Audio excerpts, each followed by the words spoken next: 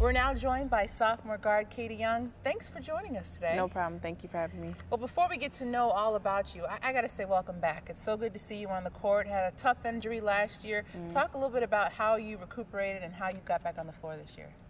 Uh, I think it was just important for me to emphasize where I was last year and to try to get back there first and then to get so much better. It's just been a lot of hard work in the off season, um, supporting my teammates, just keeping a level head, like the mental part was the toughest aspect of overcoming an ACL injury. We'll talk about that last year. I know sitting on the bench, watching the team, mm-hmm. um, you had to be a leader still, you know, coming in as a freshman with the other freshmen, with the other teammates, but how did you mentally really stay into the game?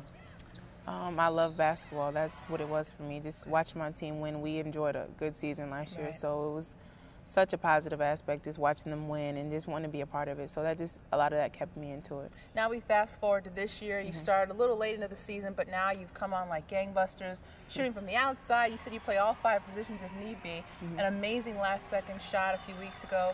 Talk about how you've grown already this season. Uh, I think I've just done what I know to do. Okay. Uh, I'm trying to become better in every aspect of my game, like one through five, but just playing how I know I'm I could play, getting more comfortable out there. Like I'm basically a freshman out there because I didn't right. really get a lot of time.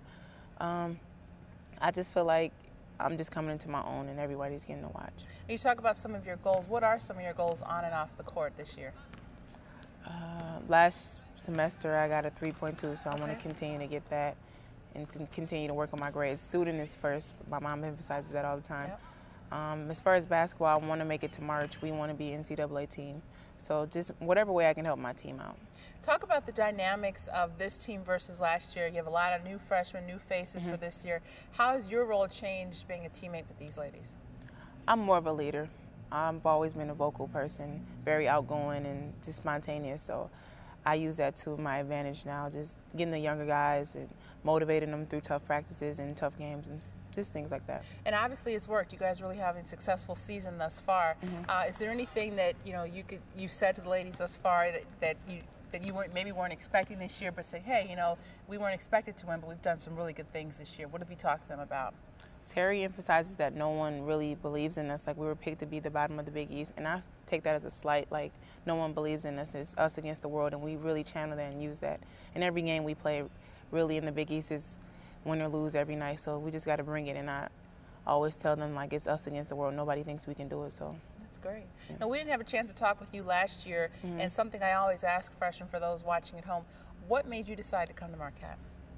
It's close to home. Um, this the prestige of Marquette, like just seeing that name. Um, the Terri was so influential throughout my recruiting process. Stayed on me. We always talked, and it's just more of a family environment, and my family gets to come up and watch. So yeah.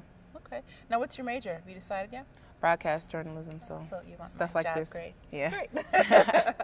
what are some of, some of your other future goals, future hobbies? What do you like to do?